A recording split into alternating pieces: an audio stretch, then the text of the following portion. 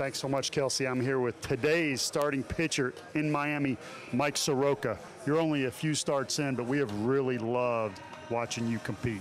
Yeah, thank you guys. I mean, it's it's been a lot of fun to be up here and, and feel the energy from these guys. Uh, it's, it's pretty easy to come to the field every day uh, when you know guys are here to win, and that's uh, that's something that I think we're going to be able to do for a long time. Peter Moylan made a comment a few days ago. One of this, the reasons this works so well is you have old veterans, but you have young guys who ask questions and listen. Rietsma said you're one of those guys. Yeah, I mean that's all you can do. I mean you got to take every day um, and have fun with every day, but you got to learn because uh, that's how you keep getting better. And I, I, think that's something that I was fortunate to learn from him at, at a younger age.